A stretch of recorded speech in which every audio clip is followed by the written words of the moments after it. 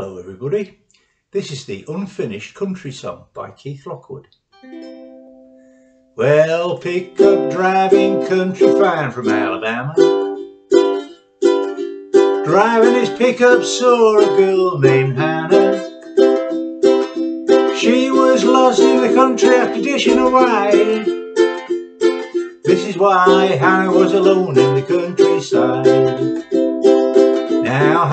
Hannah is a city girl dressed in fashion and heels Started walking when the lift got punctured wheels.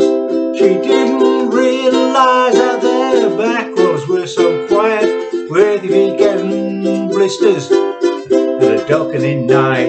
Oh, the pop truck pulled alongside the lady. Hannah was glad of help but a little bit cagey. Hank the driver, a nice guy giving a hand. In the town where Hank was to play in a band. Getting together with a singer and guitar player. The group hearing her voice was the sweetest ever.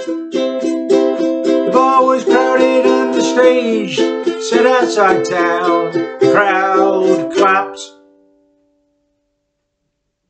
That's it, that's where it ends. Could be something rhymes with town, I suppose. But no, that's it. It's ghostly, isn't it? Ghostly quiet. Anyway, I hope you enjoyed it. See you later.